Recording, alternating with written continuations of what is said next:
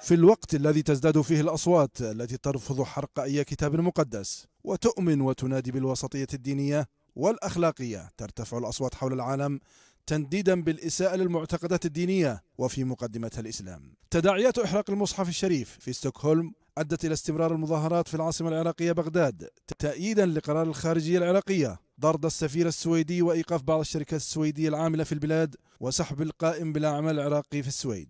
فيما ندت السويد باقتحام وإحراق سفارتها في العراق واستدعت السفير العراقي لديها للاحتجاج تظاهر العديد من العراقيين في ساحة التحرير ببغداد رفضا لسماح السلطات السويدية بحرق نسخة من المصحف الشريف والعلم العراقي أمام سفارة بلادهم في ستوكهولم. نحن اليوم نقف وقفة احتجاجية ضد حرق المصحف الكريم ضد حرق القرآن و نستنكر ما قامت به الحكومة السعودية من تهاون على الاعتداء على حريات الآخرين وعقائدهم. وفي المقابل قالت وكالة رويترز أن محتجين في السويد لم يحرقوا المصحف ولكنهم قاموا برميه وتمزيقه أمام السفارة العراقية في ستوكهولم. وقوبل سماح السويد بحرق المصحف بموجة استنكار وتنديد واسعة في العالمين العربي والإسلامي حيث أدان الأزهر في مصر إلى جانب عدة دول عربية وإسلامية وغربية. تكرار سماح السلطات في السويد بإحراق نسخة من القرآن الكريم. ووصف بيان للأزهر الشريف سماح السلطات السويدية لمن وصفهم بالمتطرفين بحرق المصحف وتمزيقه